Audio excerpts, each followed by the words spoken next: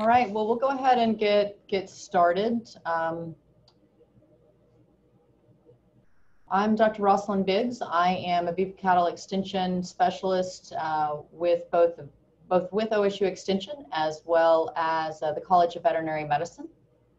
And so we are now in the third week of our cattle health uh, series for, for our ranchers lunchtime meetings. And it's my pleasure this morning, or I guess we're in the afternoon now, uh, to introduce Dr. Meredith Jones that's going to be speaking to us on, on cattle lameness. Just a few housekeeping things. Uh, we again want to welcome you and uh, just keep in mind uh, we would ask uh, all, all attendees are muted, but if you have questions, you're welcome to put those in the, the chat or the Q&A and Dr. Jones and I will do our best to, to get those perhaps answered during the presentation, but we'll leave enough time at the end to address those as well. So want to, to thank everybody for, for joining us and um, at this time I'm going to go ahead and, and introduce Dr. Jones. Uh, it's really my pleasure to be have the opportunity to work with Dr. Jones. She's an associate professor at Oklahoma State uh, College of Veterinary Medicine. She received her DVM here at OSU in 2002 and then entered a private mixed animal practice in Kentucky. She then returned to OSU to complete a residency in, in large animal internal medicine with an emphasis on food animal. She received her master's in veterinary biomedical sciences here at OSU during that time and is currently a diplomate of the American College of Veterinary Internal Medicine, uh, large animal. She previously taught uh, food animal field services at both Kansas State University as well as Texas A&M and their colleges of veterinary medicine. And she rejoined us here at, uh, at OSU, uh, much to the delight of uh, the veterinary community and producers in the fall of 2018. I, as I mentioned, uh, Dr. Jones is, is great to work with here. Uh, she's also a, a fellow aficionado of Dr. Pepper, which I can appreciate and I have mine. I have mine ready to go too. So with that, uh, we will we'll turn it over to you, Dr. Jones, and um, let you start that screen share. Terrific. Thanks, Dr. Biggs. Um, we're very fortunate to have Dr. Biggs back as well. She's a new addition, came back home just like I did. I think we all kind of wandered to other jobs and then waited to just have the opportunity to come right back where we belonged. So um, very glad to be here and glad to be with you all today. Um, thanks for uh, joining us. And so um, we decided that um, I would address um, lameness. And in fact, the reason I'm dressed like I am is because I just finished uh, working on a cow's foot that um, looks a lot like the feet that you're about to see uh, in this presentation. And so lameness, as you know, is tremendously costly in the really the beef cattle industry across the board. Uh, but in cow calf, we see tremendous issues both in the cows and the bulls. We certainly see issues in um, in our calves as well, but uh, in the in the uh, adult mama cows and in the bulls, we see tremendous amounts of issues. And we are fortunate here at OSU. Um, we have, there are four of us, uh, myself and three of my partners that um, actually really enjoy lameness work. Uh, we have two tipping hydraulic chutes that make lameness work um, at least humane on our bodies. And so uh, we do a, a, tremendous amount of work here um, uh, on bull and cow feet. So um, today's topics, just to kind of give you an outline, obviously I could talk for days about lameness. There's um, many, many things that cause it. But what I did was I kind of picked out the things that we see most commonly here in our clinic or that I talk to veterinarians and producers about on the phone, um, and some common points of confusion that we see. Uh, where people, you know, kind of pick one diagnosis and that's maybe just not quite right, um, that it should be another one. And we're going to you know, talk a, a, little bit about how to differentiate some of those things for you at home uh, so you know what to be prepared for and can properly identify those. So we're going to talk about foot rot, deep, deep digital infection, um, some regional antibiotic treatments that we can use for that. We have some current research going on here uh, in our clinic. We're going to talk about corns real quick, corkscrew claw, and then finally we're going to talk about fractures uh, just briefly. So um, This is foot rot. This is exactly what. Dr. Jones, Yes, ma'am. I think we've got a, it, your, sh- your screen isn't showing quite yet. Oh, I'm sorry. Uh, I thought that it looked funny. Try it, try it now. Uh, There, there we go. We're almost set. I can see, see your laptop screen there. So just so long as you put it in the, and I apologize, I think that's probably my error. um, okay, it says I'm screen sharing. So can you see like my super junky laptop with all kinds of stuff on it? Okay. You got it, All right. just like mine. Let me try again. There we go, perfect. That actually looks better for me too. Okay, I'm glad that you said something. I apologize for that crew. It, I knew it didn't behave quite right when I shared, uh, but I really didn't know what to do about it. So, um, so this is classic foot rot. So we're looking, of course, at the bottom of a foot. This is tipped up on our hydraulic chutes where we can see the bottom of that foot really easy. This is the part that's hard for you all to see at home when you're looking at them, uh, unless you pick up the foot with a rope in a in your chute and, and take a look at it. Um, and so what foot rot really is, is a bacterial infection here between the toes, right in the center there. And of course, moisture and all these kinds of things really predispose to this. If you were to look at the front of this foot with her standing up, as you know, you're gonna see a lot of swelling all the way around the foot, right up above the coronary band, right where the hoof wall is gonna meet the skin there's going to be a fair amount of swelling around that. And it's important to note that that swelling, excuse me,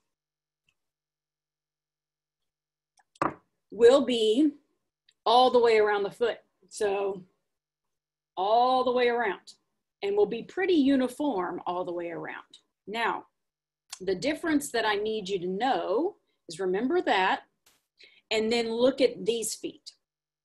So if you look, um, what I just finished working on looks like the foot in the middle actually.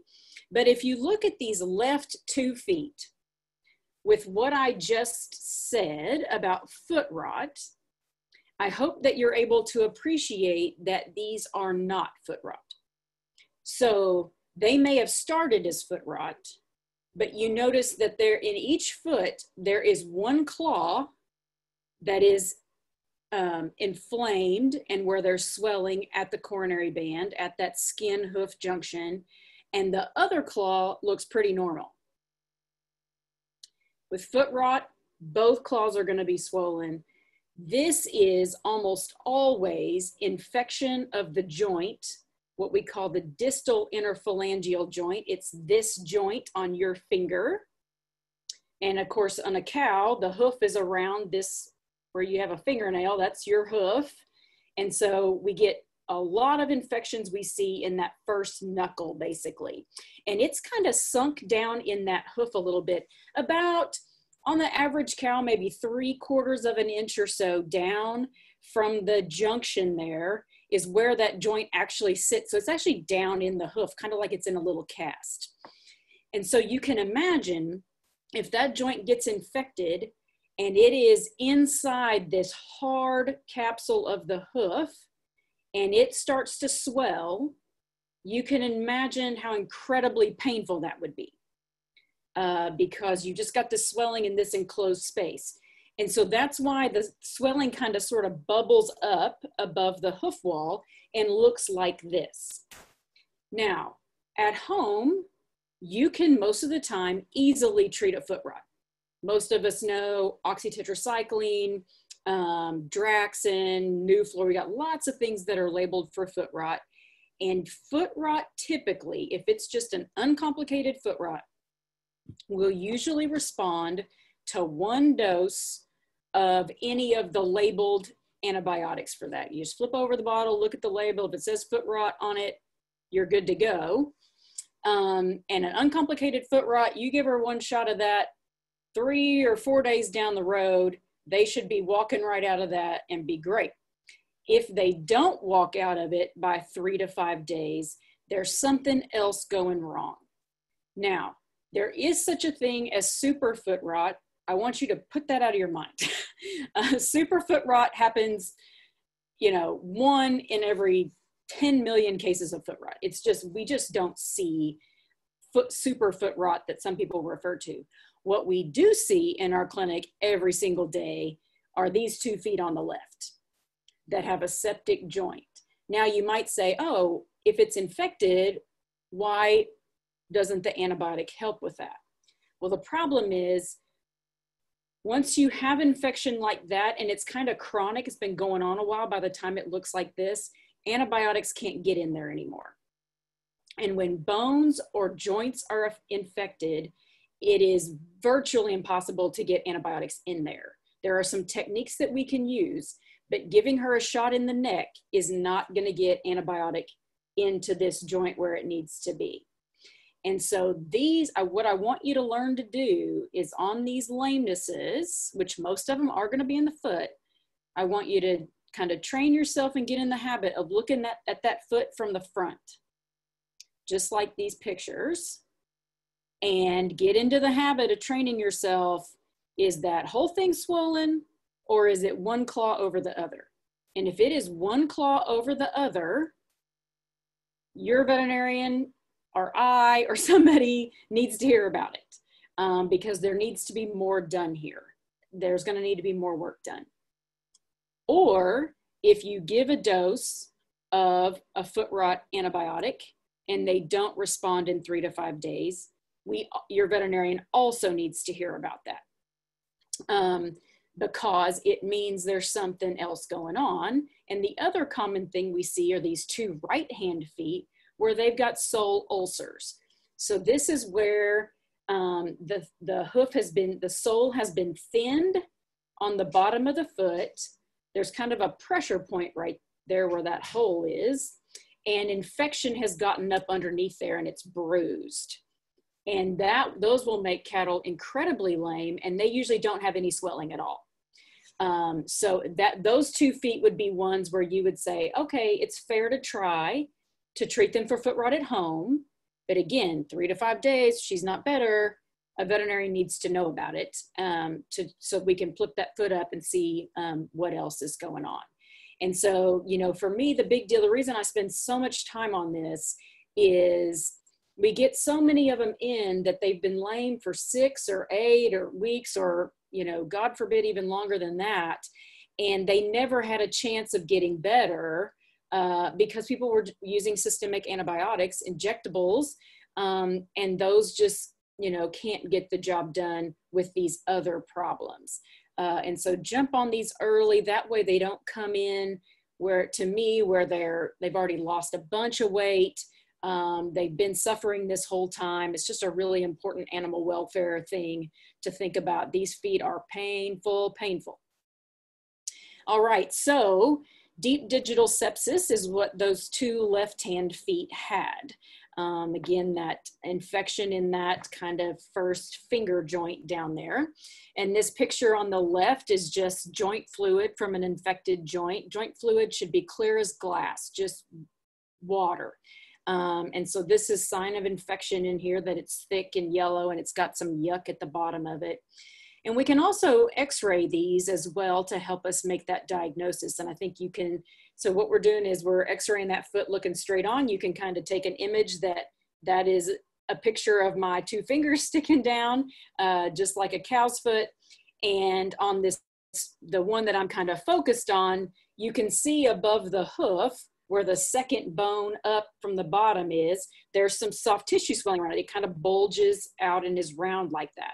That's that skin swelling that you saw in those last feet. And then we are able then to look at the joint space between the bottom bone and the next bone up. And we say, it's, and you see it's kind of, you can't see a nice black line like you can see in the joint above that.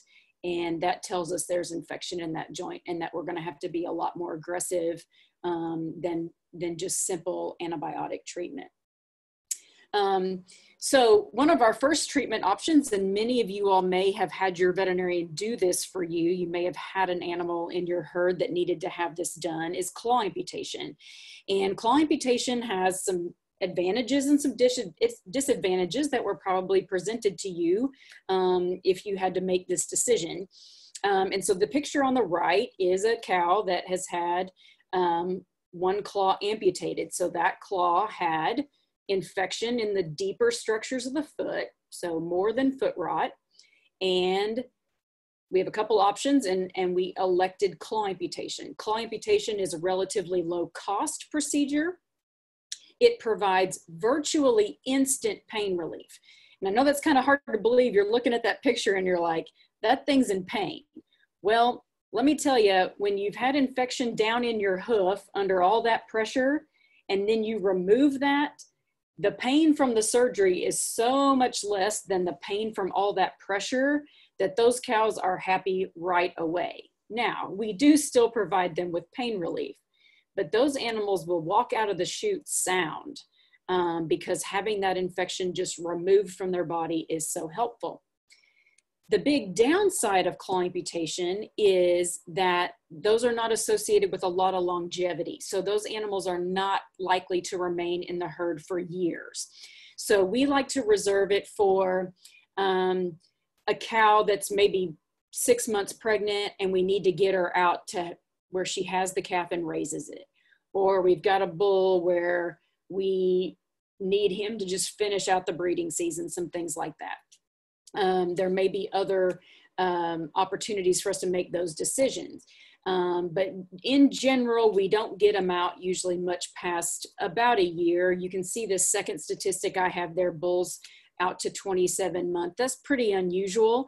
And my guess is a lot of those were front feet. Uh, as you can imagine, taking a toe off a back foot of a bull um, who is in natural service um, is is associated with a very short lifespan as well. So usually in beef cattle, what we're trying to do is get them to a production goal. Have the calf, raise the calf, um, you know, those types of things. Those are our timelines rather than like a set set of months, for example.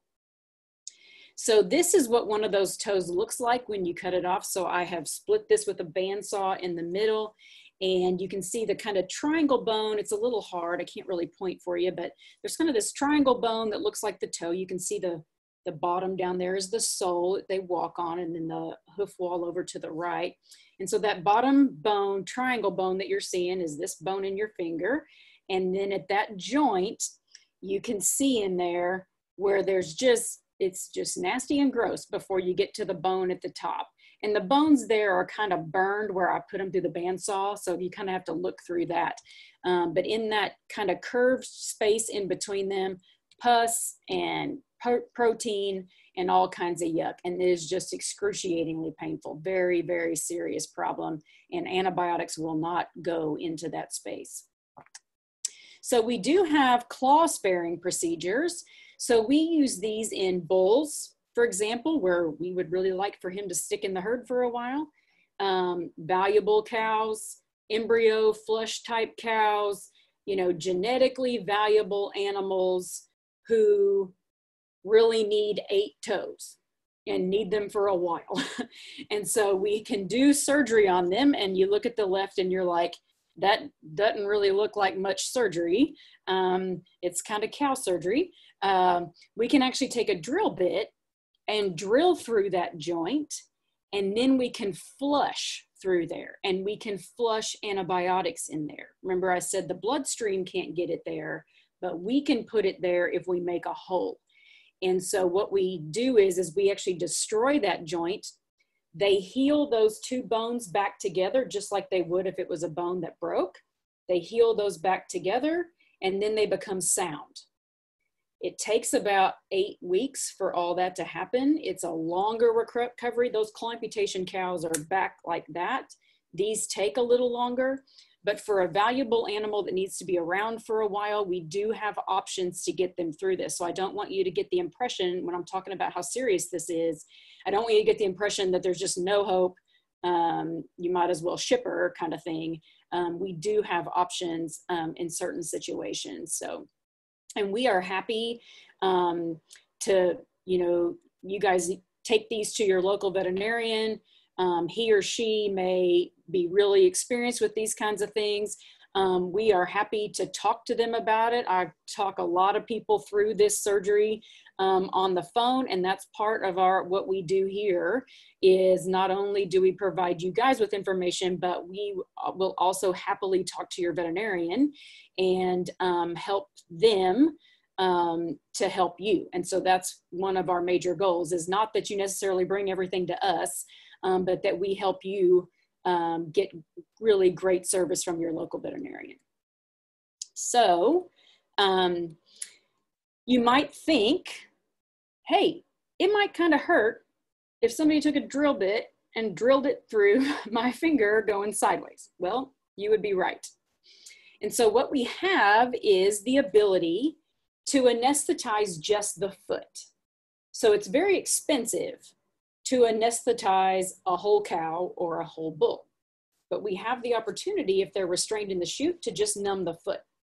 And the way we do this is we put a tourniquet around it, and then we hit a vein with a needle, and then we eject lidocaine, just like you hear about dentists using, um, into that foot. And I'm going to go ahead and start this video. And this cow's going to jump, which is what they always do initially. You can see kind of at the top left down at the bottom of that foot, there's kind of a bloody spot there where we've been working on that. Um, and so it's gonna be painful. And so now we're gonna anesthetize the foot. And so you see there's a little bit of blood comes back underneath that yellow looking thing.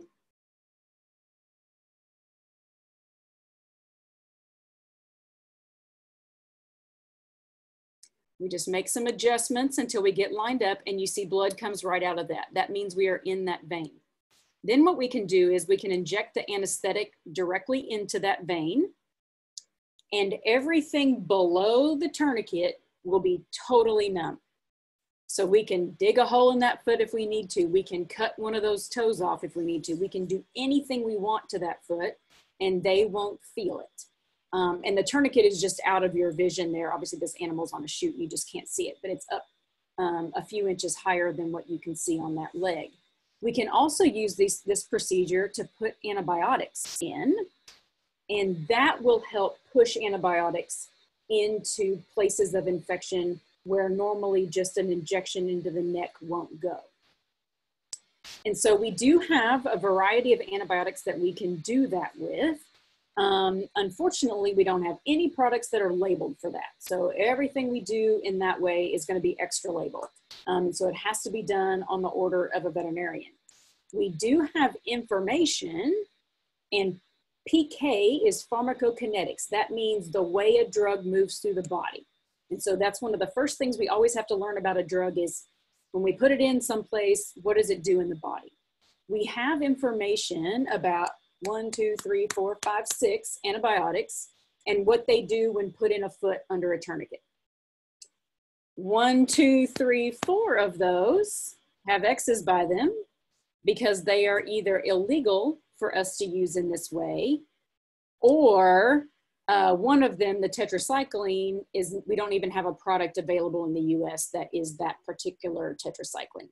So four of them come right off the list out of the top. And so we're left with two. Um, and as you might imagine, that's pretty limiting. Uh, you know, we would like to have more options um, than just two. Each of those do a great job, um, but they each have their drawbacks, like most things do in life.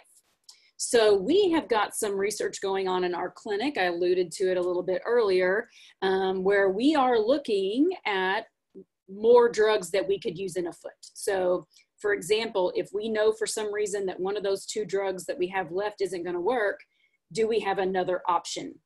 Um, and so we actually have two projects going on um, where we are taking cows, uh, mature beef cows, and we are doing this regional intravenous injection into the foot with different antimicrobials, and we are doing that PK, how does it move through the body kind of work. And what that allows us to do then is we can determine, first of all, does the antibiotic get to the place of infection at a high enough dose or concentration that it has a chance of actually killing the bugs that we, you know, the bacteria that we know are there. And second, we need to know a withdrawal time for that, right? we've always got to know what a withdrawal time is.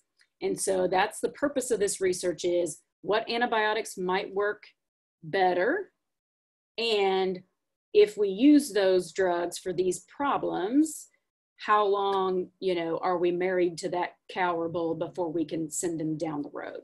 And of course, the goal is that using these drugs will significantly delay uh, sending them down the road. That's what obviously uh, what we're trying to do. So um, are there any, I'm just gonna, Dr. Biggs, are there any questions about kind of that first section before I move on? No questions just yet in the chat, but we will remind attendees if you're interested in a question, you can put that in the Q&A uh, or the chat feature, uh, whichever works works best for you. And uh, we would take those at this time or we will wait until the very end. And please feel free to ask questions. That's what I'm here for. I love to answer your questions. And so we want to make sure that these presentations are what you want to know about.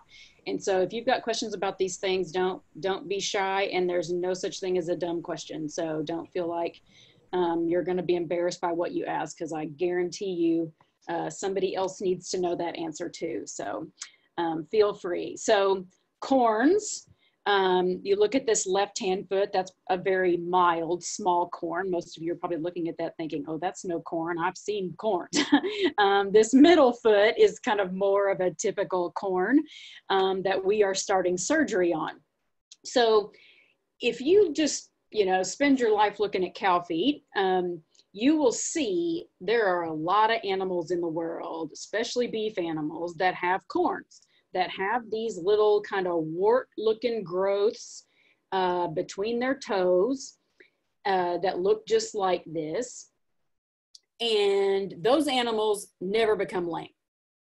Great big, you'll see great big heavy Hereford bulls and they'll have these great big old growths between their toes and those bulls never become lame for them. And that's the case with most corns. Most corns never cause a problem with an animal. When it's time to remove a corn to do something about it is if the animal becomes lame on that foot, first of all, if it's lame, we, you know, we need to get that foot picked up and, and or put in a chute and see what's going on. And if you see the that lame foot and you look and there's a corn, you at home are going to be suspicious. I wonder if this corn's the problem. So what happens is people see a lame animal at home, Maybe they try foot rot treatment, it fails, and then they bring them in either to their local veterinarian or to us. And we flip the cow over and we look at this foot and we're trying to figure out, you know, what's if it's if the problem's in the foot, and if so, what's the problem in the foot? The problem, even if they have a corn, the lameness is not always caused by that. Again, a lot of animals have corns and their corns never cause them a problem. The only time a corn is causing a problem and needs to be removed is when one of a couple of things are happening. One is it is grown so much that it's coming in contact with the ground and therefore it's getting rubbed and getting a raw spot on the bottom of it. So you can picture how you got this thing hanging down between your toes and it's rubbing on the ground and that's just skin and so it hurts. That's painful. A corn that, that a corn that's getting rubbed on the ground needs to come out because it is going to be chronically painful. The other thing is is when from kind of the sides you can see how that thing fits like a wedge between those toes is it being rubbed on either side of that v you know up against the hoof wall is it getting rubbed and so if you watch, if you watch me look at a corn, I'm gonna pinch all over that corn. I'm gonna look in there with a flashlight and I'm gonna see if it's getting rubbed and raw. And then I'm gonna take my fingers and then I'm gonna pinch it. And if I pinch it and she says ow, then that's a corn that needs to come off. So either rubbed raw, either on the bottom or on the sides, or is painful when I pinch it, then that's a corn that needs to come off.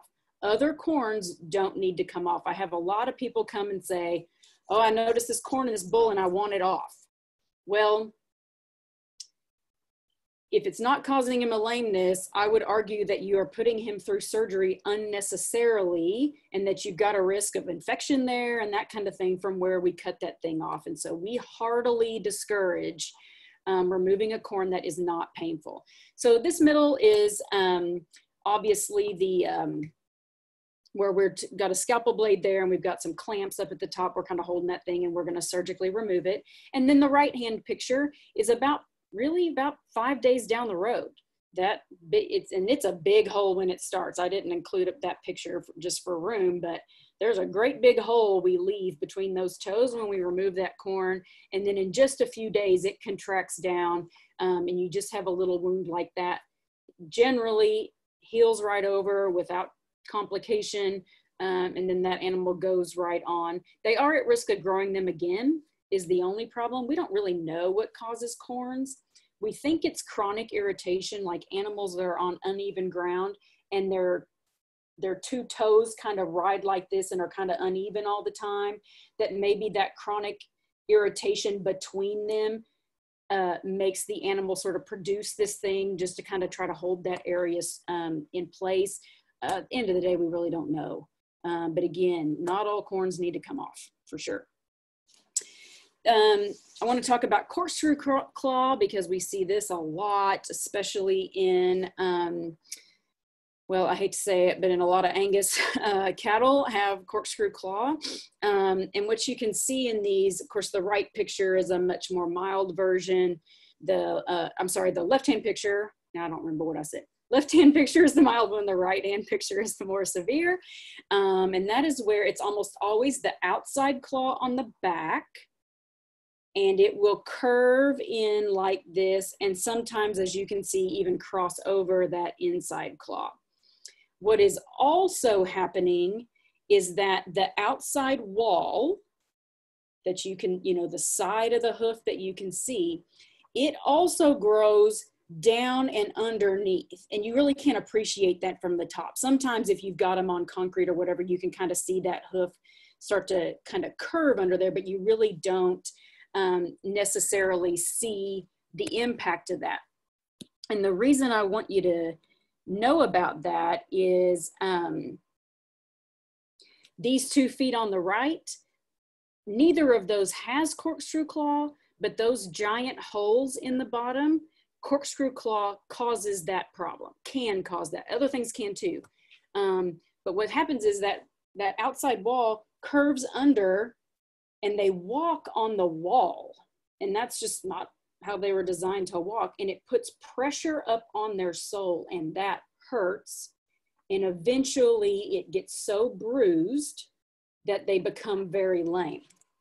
And so corkscrew claw is a big concern um, in the beef industry because it is believed that there is some heritability associated with that.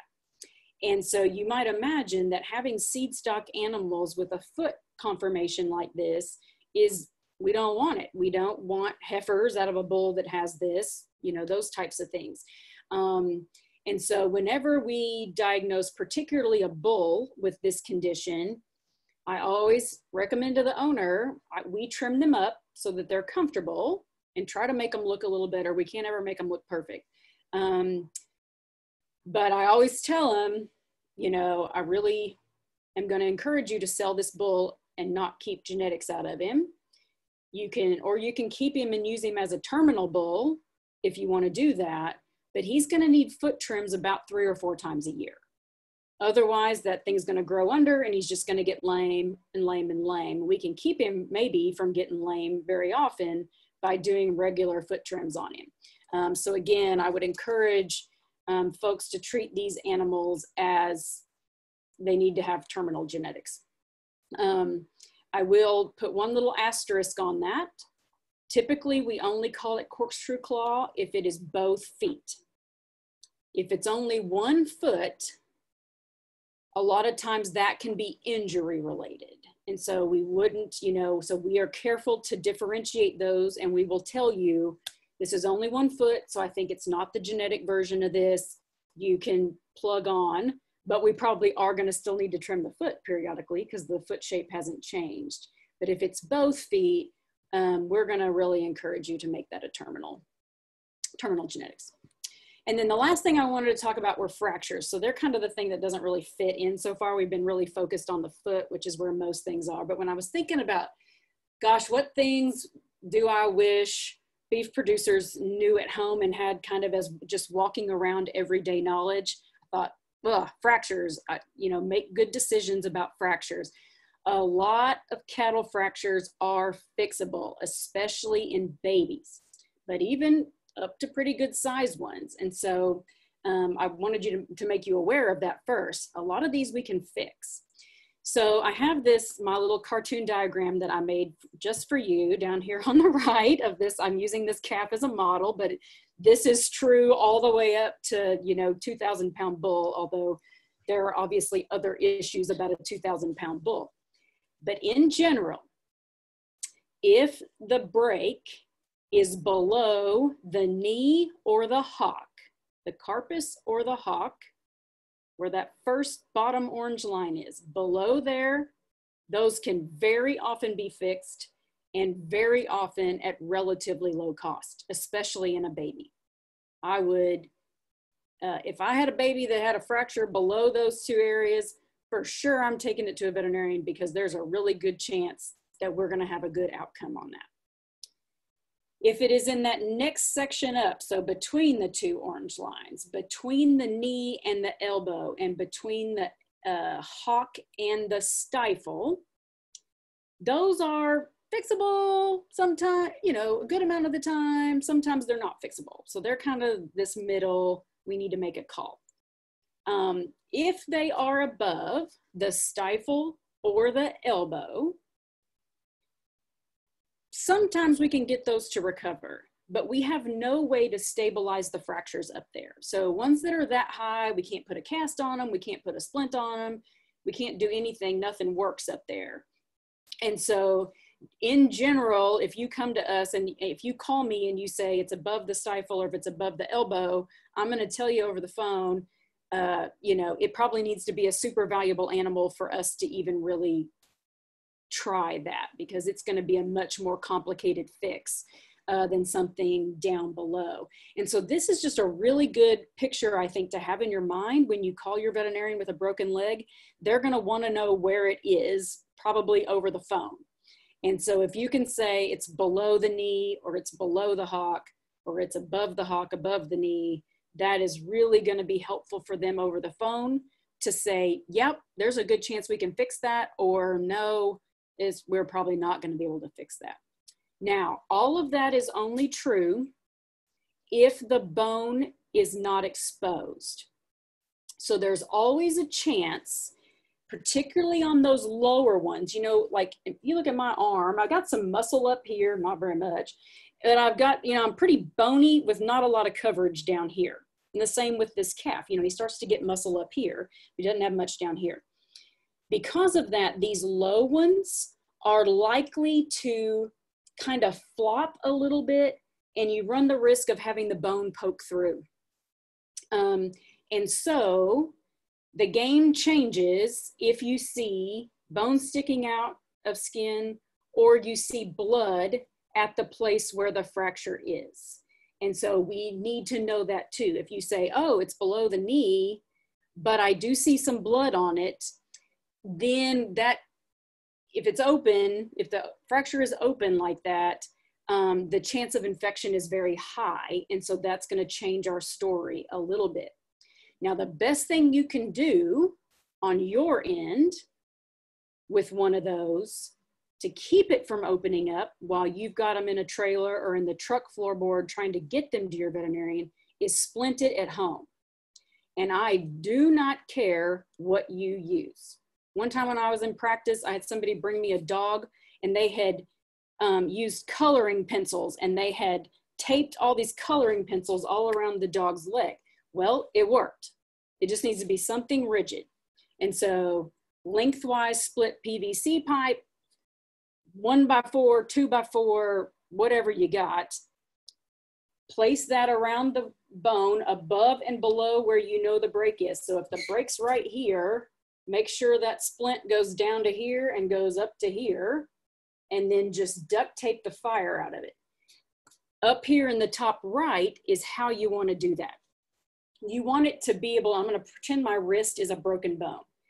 You need to stop the bone from going like this, and you need to stop the bone from going like this, side to side. So you don't put a board on one side and a board on the opposite side.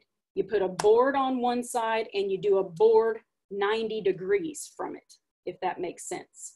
And that way you stop both side to side and you stop kind of front and back. And so that is, you get that on there. We are not going to laugh at your splint job um, because you've probably saved that animal's life by keeping that from, by keeping that bone from poking out um, while during the trailer ride and during transition. So that was kind of the last topic I wanted to cover. Um, I, real quick before we start answering questions, I just want to again make clear that um, our job here is both to see cases that need to be seen uh, here in Stillwater. Um, we have a clinic for that's a full service clinic. Um, we also take in cases that your veterinarian examines and says, I think it needs to go somewhere else for treatment. That's also what we're here for. Um, but our number one goal is that you're going to use your local veterinarian um, to help you make decisions, help you design herd health plans, help you um, uh, with individual animal kinds of things. And then we are always here uh, to back both of you up um, in those situations. So um, I, I see that there are two Q and A's and then I see some more. So um, yeah, so we've got a couple of questions in in the Q and A. Um, might start with the chat questions. Talk to us a little bit more about foot rot as far as what are our what leads us to foot rot as a general rule? Is it is it an injury? Is it weather conditions? Right. Uh, what are our predisposing factors that get us to get us to foot rot? Yeah. So I don't know the makeup of our audience. Like how many people in the audience soak in the bathtub for a long time after a hard day. But but if you think about when you do soak in the bathtub or you wash the dishes um, you know, when you pull your hand out of that water, it's been in there for a while, your skin is really wrinkly. Well, if you did that for a really, really long time, what that does is that breaks down the integrity of your skin. So, right now, you know, if I touch a bacteria with my intact skin, my skin is going to protect me from getting an infection. That's part of my immune system is my skin. When that gets either you know, kind of torn up a little bit from being too wet, or it can be, you know, sticking a stop into there or whatever. That allows a bacteria that is very common. Well, actually, it's always in cow manure. So, this bacteria is all over your pasture because there's cattle manure all over your pasture. And with that skin not functioning like it should, that bacteria now has a chance to get in because obviously they're walking through manure all the time. And so we really will see foot rot outbreaks almost always after a big rain. Maybe you got a place in your pasture that holds it, and maybe that's close to the feeder or something where they tend to congregate. And so we most often see it associated with water breaks down the immune barrier of the skin, and then that bacteria that's just everywhere um, anyway, so there's nothing you can do to get rid of the bacteria. It's there. It's just about keeping cattle feet dry as best you can to keep that skin functioning like it should. So talk to us a little bit. Uh, we've got participants really from uh, across across Oklahoma, and we even have some participants from out of state, uh, recognizing some of those names on our attendee list. So, uh, but we do have a fair amount of fescue on in certain parts of of Oklahoma. Sure. Mm-hmm. And so, talk to us a little bit about fescue foot uh, versus maybe other symptoms that, that we should be looking at there. Yeah, that's a great question because it's something I didn't put in just for time. So, what fescue can do if it is endophyte infected um, is it the endophyte toxin causes the blood vessels to constrict. So, you know, your blood vessels are normally, let's say they're this open all the time to serve blood to all the parts of your body. And what that toxin on fescue can do is it makes those blood vessels do this, particularly at the end of the tail and particularly at the feet. So, kind of your terminal places in your body where the blood vessels are the smallest already. And then that makes them shrink down even more. And so, what we see with fescue foot is um, it's really a death of that tissue, what we call necrosis. And so, that tissue that is not that now doesn't have any blood supply starts to die because it doesn't have any blood supply. And so the lesion what you see in a foot with fescue foot is basically dead tissue developing. So it is different. It it is a rotten foot. So it you know you you may be tempted to call it foot rot because there's no question it's a rotten foot. Um, but it's from a different cause. It's from a lack of blood flow um, and as probably many of you all have experienced, the sensitivity to fescue varies. Um, not every animal, you know, who's on the same pasture reacts the same. And that's the same for sort of getting into slumber slump, summer slump kind of issues, you know, with fescue and that kind of thing.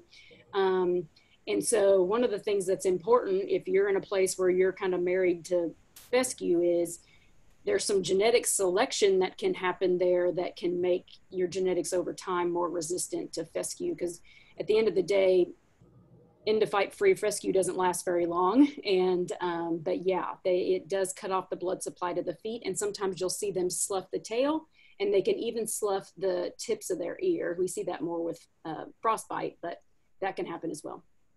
Good question so Dr. Jones, eh, just in case, we'll remind everybody if you have a question, uh, you're certainly welcome to put those in the Q&A or, or the chat. Uh, while, we're, while we're maybe waiting on those last one or two, oh, thanks Dr. Lalman, I think uh, launched our polls for us. We're, we're launching our polls here. If you'll take just a moment and, and vote on, vote on those. We're looking for uh, really what your knowledge was, kind of when we started, started this, what you're seeing in your operation now that helps us both in extension as well as uh, Dr. Jones mentioned a number of the research efforts that are going on here at the College of Veterinary Medicine. So this is just real informal. If you'll if you'll answer those for us, uh, we'll take take a quick look. Dr. Biggs. Yes, sir. Let me just make one comment, please. Um, I think it might be helpful for the audience to recognize or to know that these are uh, this is recorded anonymously. I have not been mentioning that, and I'm a little afraid that some folks may think that their name will show up beside their answers, and that's not the case. These are completely anonymous. Yes, there. Thanks, Dr. Lalman. I think that's really important. Uh, we we're we just really kind of want to know want to know where you're at, but uh, we're we certainly don't want to to pick on anybody, and so you're again your answers are, are completely anonymous. Uh, we don't know who who is who and uh, how many how many folks uh, have have participated uh, with that. So, all right. Well, we're getting some. We've we've got uh, a little over half of the half of our participants have have voted here. Dr. Jones, I'm not seeing any other questions in, okay. in the chat. Um, I have one, Dr. Biggs. Yes, sir. Go ahead. If you don't mind sharing my screen, I would like to show you the images uh, from the American Angus Association with their foot scoring system where they have developed EPDs uh, for the uh, purpose of uh, improving on this problem. Uh, and I'd like to have you comment if you don't mind. All right, that's so, a big spot to be put in. Dr. Jones, while we're doing that, if you if you don't mind bringing your screen share down, we'll, we'll let Dr. Lalman. Yes, ma'am. All right, and so while Dr. Lalman is bringing those images up, talk to us a little bit more about corkscrew claw, excuse me, corkscrew claw, and and really when if we're looking at if if we're looking at new genetics when should we be able to determine that? What's what's our age that we should feel confident? Oh, good that? question. That's an excellent question. Thank you for bringing that up. So this is um, actually maybe, in my opinion, the worst part of corkscrew claw is that it doesn't show up very early. Um, and so because of that, uh, the genetics is a, is a mess. Um, a lot of times you will not see this start to form. And I'm gonna and I'm gonna put this on bulls a lot, only because if a bull's got bad genes, then you got much bigger problems than if you got one cow in your herd that has you know a genetic or heritable type problem. So um, that bull who you know who has a predisposition to having corkscrew claw, you may never notice even a hint of it until he hits three. And of course, by then, he has put his genetics in a lot of cows, particularly if he's an AI sire. And so that is that is one of the big problems with corkscrew claw is that their feet may be beautiful uh, up until the age of three or four or five when they really start to grow and really show you what they're going to look like. So Dr. Lalman, we're not quite seeing those those images yet. I don't know if we're having some problems again with our with our screen share. We are. Okay, give me just a second. We do have another question that came in. Um, talk to us a little bit, Dr. Jones, about chronic chronic cracks in feet and um, how how's the best way to to address those. Um, what what should we be doing on on that? Yeah, that's a that's a great question too. Um, so what I'm going to talk about are the vertical hoof cracks. So you know, if this is the hoof and this is the sole down at the bottom, these cracks that come up towards the coronary band, usually they're on right on that front side of that foot. And I'm assuming that that's what the asker is thinking about because we do see those a lot here. And so we call those vertical hoof cracks. Um, and what they are generally is um, either from a, a hoof horn being really dry, um, which we certainly have happened when we're, you know, in a drought situation or whatever, we can have a really dry hoof wall. Or some animals have poor hoof quality. They're just the horn of their hoof is not great quality. Um, and that makes it easier to break down. So what happens is my cup is a hoof again. Um, if that hoof wall is very dry, or again of poor quality. When that animal walks uh, you know down in the pasture they're going to rock that foot over like this break over and pick the foot up and they're going to set it down and that you know that's how they're going to walk. Well as they do this that puts upward pressure on the front side of that hoof on each toe. And that can form you know that pressure can make those cracks occur and they're just like cracks in concrete. They're going to just go all the way until they're to the end. So, you know, the reason that you section off your front porch with concrete um, uh, with, with grid lines is so that the crack stops eventually. And so what we do with those, if you get them to us soon enough, and let's say this is the coronary band, if that crack is only up to here, we can clean it all out. Sometimes there's manure and infection underneath there.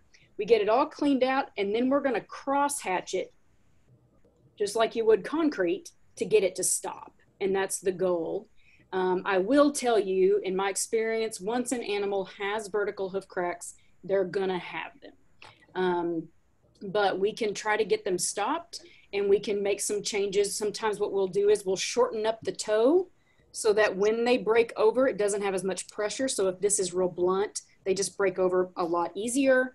Um, and we may have you do feed additives like biotin and zinc and some other things like that that we know are really good for hoof health. So Dr. Jones, um, we've got, uh, I've done a couple of things. Dr. Lalman, I got, I got your email, so I went ahead and put that link for the Angus foot score guidelines in the chat. So if anybody wants to take that down, um, you're certainly welcome to, and then we're, then we're sharing these, these guidelines. Excellent. Thank, thank you for doing that. Yeah, I'm not sure why I couldn't get it to share, but uh, Dr. Jones, we need to update your Joe's Cup collection. oh yeah, this is vintage collectors though. Yeah, it's that's, that's a real true. expensive one. That has some value now. Regardless, would you comment on the uh, divergent claw? I don't know that I've seen I've seen much of that, and what do you anticipate with that condition as far as uh, creating lameness? Yeah. So uh, just so to clarify for everybody and myself, you're referring to like those one, two, three feet down Ye- at the yes, bottom. Yes.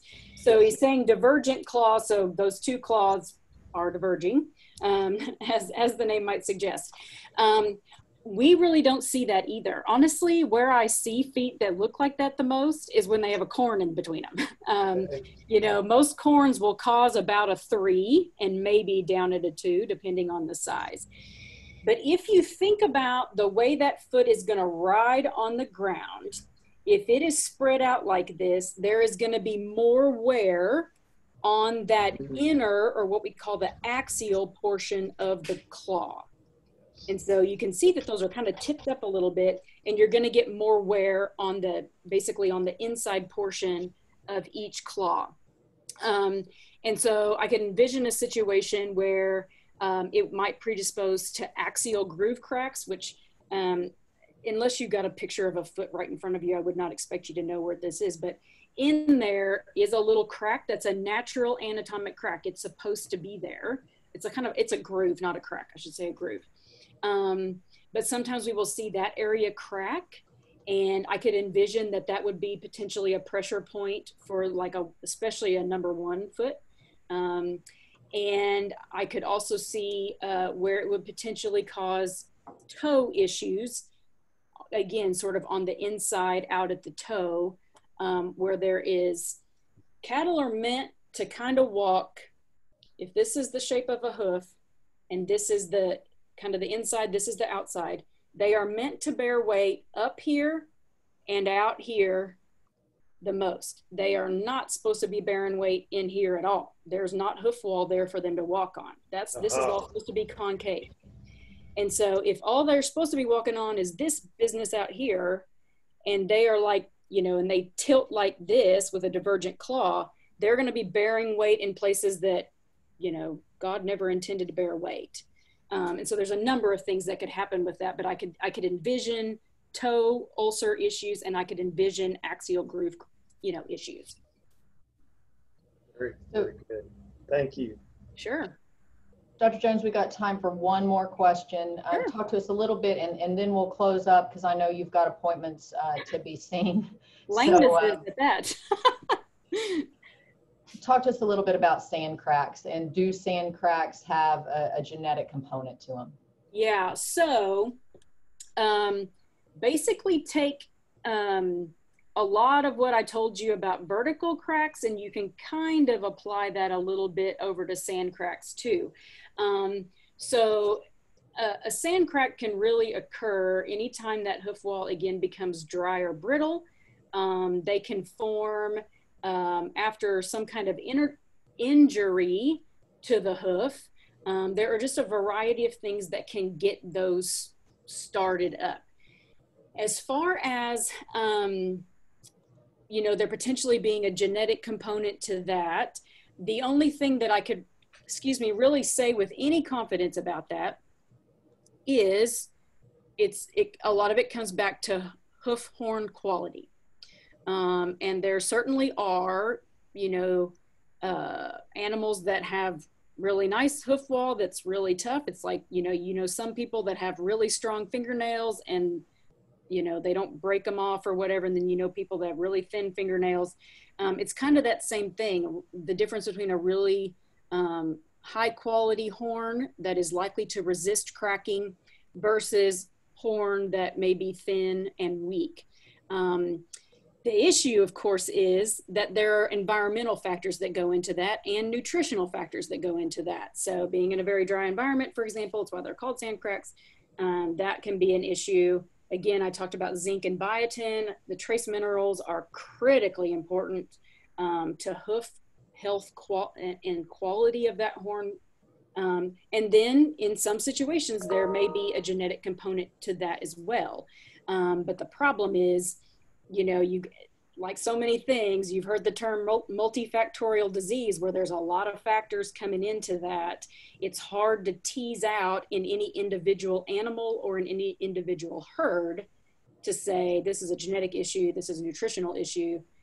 But the best you can do is come in and say, okay, we're going to change in the environment what we can change, which oftentimes isn't a lot. You're either dry or not and but we can intervene nutritionally and potentially offset you know the contributions of the other two factors All right, Dr. Jones, we are right at 1:30, and uh, I'm sure uh, the reception is trying to get, that may have been the dings that we heard, uh, getting a hold of you. So we appreciate you spending some extra time with us uh, this afternoon. Definitely want to thank all our attendees, uh, uh, Yeah. really across Oklahoma, as well as our out-of-state attendees. Uh, We've, we've had veterinarians, veterinary students, and, and producers on the line. Want to thank Dr. Lalman, of course, for putting these uh, Rancher series together. And uh, we will see everyone next week. Uh, I'll be with you talking about effective veterinary client patient relationships. And so hope you'll join us again. Uh, as you close out today, we do have a survey depending upon where you sit in the mix, veterinarian, veterinary student, or producer uh, for our integrated beef cattle program that we are, are launching. So if you have a moment, it'll take you about five minutes or so, if that, uh, If you have time, we'd sure appreciate that input. Uh, You can take a look at the polling results. I think they've, I think they've been shared. We'll share them again one more time, just in case. And um, with that, Dr. Lalman, do you have anything else?